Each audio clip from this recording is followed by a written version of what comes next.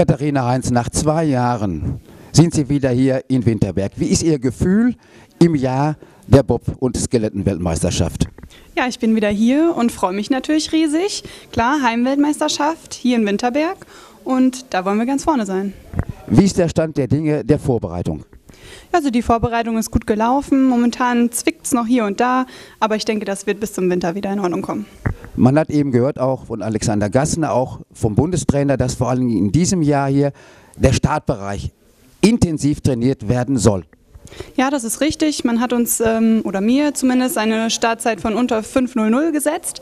Ähm, ich sage immer, Start ist nicht alles, aber ich habe mich darauf vorbereitet und dann werden wir sehen, was rauskommt. Sochi war ja für Sie die große Enttäuschung.